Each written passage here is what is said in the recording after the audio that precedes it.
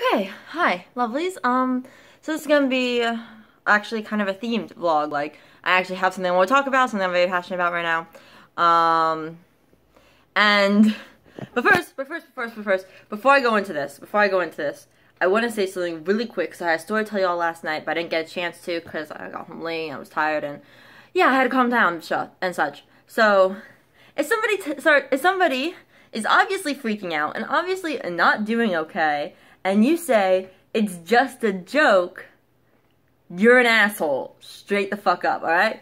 Alright, alright. Preface this by saying that, okay, I'm afraid of the dark. And I almost had an anxiety attack at work because we got super busy. Like, there was a lot of things happening at once, and I was trying to keep track of everything. Of course, when I start, like, when I start panicking, I start losing my mind. Like, I can't remember things as easily. And when I started doing that, I panicked more. So it's basically an endless cycle of slowly panicking. Thankfully, I never had a panic attack, but I was, like, slowly getting there. Um, and as soon as like the rush calmed down, you know, everything was like chill. I went back, calmed down. I was fine, but I was still a little bit on edge. So I knew that something like that happened again, I might have actually like snapped. It was not good, but I had to go and put something in the, the walk-in fridge. So I go do that. Someone holds it open. One of the kitchen staff holds it open for me. I'm like, thanks. Um, I go I go to put whatever I need to get to put in the fridge. I go grab something else. The door closes. I think, oh, someone needs to like leave or something like that, or someone needs to walk by, and then the light turns off the light fucking turns off and I scream. Like, have you ever heard those like bloody murder screams like in horror movies, like those ear piercing screams? Yeah, that's what I did. And I have a really good one too. Like, holy shit. Holy shit. I have a really good ear piercing scream. Um so I do that, grab what I need, get the fuck out of there as fast as I can, and I see one of the kitchen staff laughing, and I literally go storming to him, like cursing the fuck out, like. And when I mean cursing the fuck out, I mean like so most of the time, like I try not to like be really rude to or like mean. Um, if like the the kitchen staff they like say something or like harass me or whatnot, I kind of just like glare at them, but I don't say anything. Um, or I just be like, no, stop. But I don't really like go any further than that because you know since I work with them since the kitchen, they deal with the food that I have to serve to people. I don't want them to be mad at me and then cause trouble for me. So I try to at least stay, stay civil. Today, though, I didn't give a fuck. I oh, if I hadn't gone to the back to calm down, I would have had a full blown panic attack. So thankfully I did that. So I basically walked up, I basically stormed up to him and was like yelling. I was like, motherfucker, I swear to fucking God, don't you fucking just, like I am terrified of the goddamn dark, alright? You do that shit again, I'm gonna fucking stab you with a fucking spoon, like, it's going off like that. Like I was literally threatening to stab him with a spoon. With a spoon, not a knife, a spoon. Because when I get violent, the thing is, I don't think like, you know, the most, the most like, easy thing to do. Like, you know, normally you like threaten to stab someone with a knife because that's like, you know, easy and you know, all that stuff. But no, you threaten to stab someone with a spoon. If you can actually pierce skin with that, you know shit's about to get real and you know that shit's gonna hurt. Because that shit's not sharp. So, yeah, I was, yeah. Um, and he was like, oh, it's just a joke. I was just joking. Um, and yeah, so if you're that guy, if you do that, like someone's obviously pissed off and like, upset at you and you say, oh, it's a joke, you can go fuck yourself. Alright, that shit's not cool. I don't care if you think it's a joke. It wasn't a joke to me. Okay? If I don't find it funny, and it was towards me, like, oh, it's just a prank, bro, I don't fucking care. Alright? You did the act. If I punch you in the face for that act, you can't say, it was just a prank. I don't give a shit. Okay? You fucking hurt me in some way, shape, or form. Alright, you played on my fears. You may have not known those were my fears at the time, but that still is not a cool thing to do. Like he might he doesn't he didn't know I was afraid of the dark. But that still isn't cool to just close the door on somebody in a fridge and turn off the light, alright? Like, that's not cool to do to anyone. And it doesn't help that I ha- was like already anxious and like scared. So it just don't, okay? Okay, if you're one of those people, go fuck yourself. Thanks. Okay.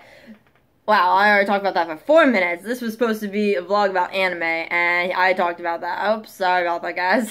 Okay, but I'm gonna try, try, try not to take too much longer of this vlog to talk. Because I'm gonna talk about the Crunchyroll Anime Awards. Um, I'm pretty sure they came out like, yes, like a few days ago. Yeah, shit, what the fuck am I high on? But I didn't see them until today. Um, and I saw them today because, you know, the anime man made a video about it. And I was like, oh yeah, that came out. Let me uh, go check it out and whatnot. And I'm gonna preface this by saying I haven't watched anime since like I want to say the summer season, like the summer season or the beginning of the fall season. Was it a fall season? I don't know, but I didn't. Uh, it was either like the beginning of fall or like the end of summer that I stopped watching anime for a while. Um, I haven't watched any since. So I think the last anime I ever saw was fully um, Sakamoto Desu and then partially My Hero Academia and Kiznaiver was the other one. That was it. So I've only I haven't seen too much of the anime. Um, most of the anime on the list I've seen either a few episodes or I haven't seen whatsoever. So this is not like my opinion of like, oh, this anime is so much better. Um, or like, oh, this doesn't deserve it. But there is only one anime that I'm just like a little bit eh about, and that is how many nominations fucking Yuri on Ice got. Holy shit! I refuse to watch that anime because one, uh, okay. Ah, what the fuck's my throat? Ah.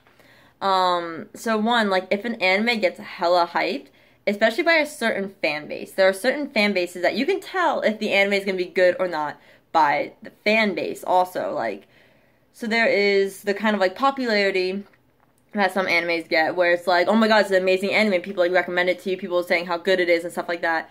But it's all positive and it's all like, and you know they may not they may not like to take criticism of it but you can kind of give you can kind of get a vibe from them of oh this is actually legitly good anime. This isn't just a cult favorite. Yuri on Ice I did not get that feeling whatsoever. I felt like that was a straight up cult favorite but that's also because it was yaoi and there's a reason why I don't like there's like another deeper reason why I don't like yaoi just other than like just the fact that it's two guys like cause okay I have nothing against yaoi or, or like um, two guys whatsoever it's just not my preference. I don't like watching yaoi because that's too many dicks for me. that's honestly too many dicks for me. So just saying that.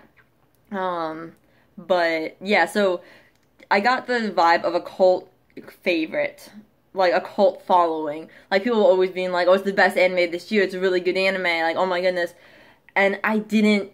The every time someone talked about to me, it did something just felt off. The only time I actually felt like, you know, maybe this is actually really good was when someone started talking about the animation of the of the um, ice skating. That was the only time that I was like, okay, maybe that's good. But when it came to like the character of the story, I actually don't even know the story because no one ever talked about. it. They only talked about the shipping or the uh, choreo- or like the choreography for the ice skating. So I don't even know what the fucking story of this anime is, which tells you something. Like if you can tell what the what the story of an anime is from its following, that's kind of a good that's kind of a good sign. What I was really happy with though, because um, again, there was a few things I did see. Hold on, I have the list, like of all the of all the things.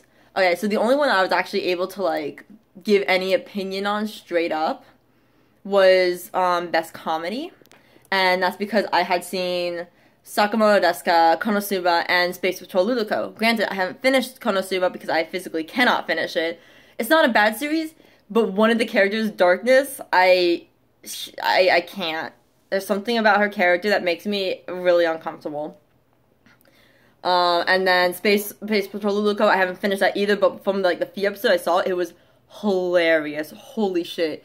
But that was like one of the only one I actually able to say anything on, and I was so happy that Sakamoto Desu got first got first place on that. Oh my god, it was um, honest to god my fucking favorite anime right now. Like I'm not normally a fan of like silly um, comedy animes. Like I always find them funny, but they never really get my top list. Cause my top list right now is like Higurashi, Kill la Kill, and Madoka Magica. There's a theme there. There's a straight up theme there. Um, so the fact that Sakamoto Desu is like high up on my list of like favorite animes, I think it's like fourth or fifth actually. I don't really know the numbers. I only know the top three because oh, oh, I love I love those three so much. But like the fact that Sakamoto got voted so high is just oh I love the anime so much. It was so good. I was so happy it got up. But I noticed in all of the categories, or almost all of them, there was Yuri on Ice, and and of course every category Yuri was in. It won, including which I'm a little salty about this, even though I haven't seen any of the animes. Is the most heartwarming scene, and that's because so just by looking at the title, Kaio's first home cooked meal and looking at the picture for it, I have a feeling that this is gonna be already really heartwarming. So I was kind of like, I kind of hope that one wins. You know, that seems like a really good moment. That seems like something that would really warm your heart. Either that or Makoto flies over her new home. But again, I haven't seen either of those anime, so I'm just sitting here kind of going by the titles. And then I see the kiss from Yuri on Ice, and I was like, okay, that's gonna win straight up, which it did, by the way. Uh, and I actually watched that scene. I watched that scene, and maybe it's because I didn't know context, but I saw it and I was like, okay, okay, they kiss. Is that it? Is that all you're gonna give me? I it, like if it was. I don't. Again, maybe it's because I don't have any context to it, but it just seemed so just okay. They kissed. Anything else? This didn't seem really like heartwarming. Like I don't know. Maybe I'm just a cold-hearted person, and maybe I just don't like couples. Um, but that just didn't appeal to me. But wait, what was the best couple one? Was that one that was also just like no, that was one I I expected straight up.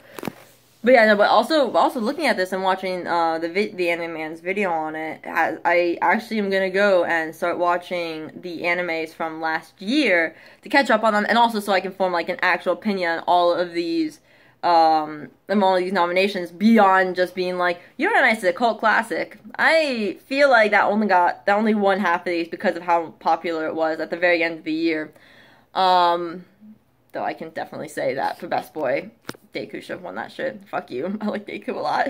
Deku was my boy when I watched Acad- he My Hero Academia. I, I, I'm still annoyed at myself for not finishing that. Because I loved him so much, but I was watching it when they first came out with it, so I had to wait each week for an episode. And of course, if I have to do that, I'm gonna forget. I like binging shit. Alright, I don't like having to wait a whole week. I just like to binge watch it. So I didn't finish it because of that, and I need to because Deku. Deku's so cute. He's so precious. He's my precious boy. but yeah, um, something a little bit on the animation was I'm like, oh yeah, there's a reason I was talking about them in the first place. Beyond just like that, that's, that's the reason I'm gonna get back in the anime. Um, but I'm annoyed that they even had the option to put the same few animes for so many different categories. Cause I'm pretty sure um Yuri on Ice was in like a majority of the fucking categories. And same with what was the other one? It was like something of the Iron Fortress. What the fuck was it called? Hold on, I can go to goddamn best fight scene and figure that shit out. Uh, it was Kabaneri of the Iron Fortress. That that Mob Psycho and like on was in almost every category, and I'm a little annoyed because again, there's a lot of other stuff um, that was in there that wasn't featured a lot. Best opening, Kiznaiver. Um, I, I can talk all I want about fucking Kiznaiver opening. Fuck you. oh god, but but like yeah, that's like the one thing I don't like. I didn't like about this entire thing. And the reason why I want to get back in the anime so I can actually like say anything about the actual categories, but I can say though that they probably should have had a more diverse, like they probably actually should have done their fucking research and looked at more than just the popular three, four shows because uh Fucking Yuri on Ice won almost goddamn everything. That's a really fucking long vlog. This is me talking about fucking. I'm just gonna fucking go now because one, I can't talk anymore about this without like or like with my own fucking opinions because it just being be me being like fucking cult classic. I goddamn hate it when a show gets a cult classic because it just suddenly that show becomes fucking everything. It doesn't matter if it was actually that amazing. Doesn't matter if I was actually that good. It'll just it'll just win fucking everything if you give it the option. Ah, fuck. God fucking damn it. Bye. Fuck it. Just bye.